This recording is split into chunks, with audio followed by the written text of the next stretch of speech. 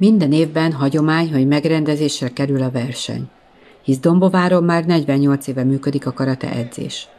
A versenyzők nagy lelkesedéssel vettek részt a rendezvényen. A mai napon, itt Mikulás napjához közeledvén egy Mikulás napi karate versenyt rendeztünk. Ez Zsinorban már a 18 amikor Covid volt, vagy pandémia volt, járvány volt, akkor is megtartottuk, nyilván akkor szűkebb körben.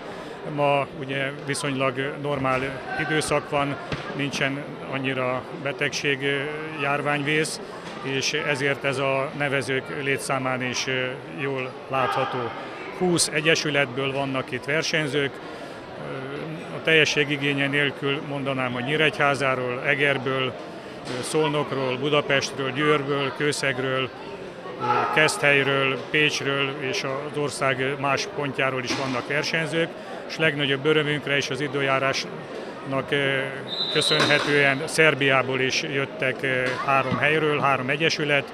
Zenta mellett van egy Csóka nevű település, onnét vannak, Bácska Topoljáról is vannak, és van egy Vribác nevű település, tehát 20 egyesületből 191 versenyző adta le a nevezését, négy küzdőtéren, egyéni formagyakorlatban, küzdelemben mérjük össze a tudást, és illetve vannak erőléti számok, ez főként a 18 alatti korosztálynak fekvőtámaszból, ilyen hasizom felülésből, illetőleg békaügetésből áll a 18. versenyünk után elmondhatjuk, hogy nagykorúak lettünk, hisz 18 éve folyamatosan már meg tudjuk rendezni a versenyünket.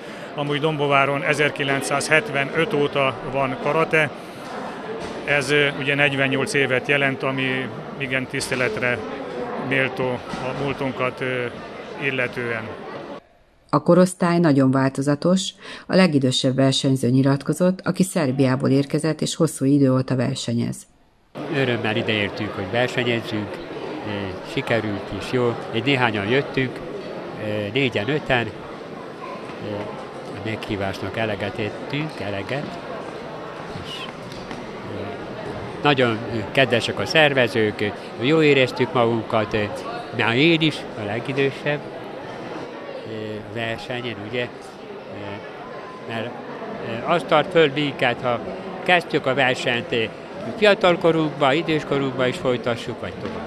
17 éve ezelőtt kezdtem, pontosabban nyugdíjban, amik elmentem.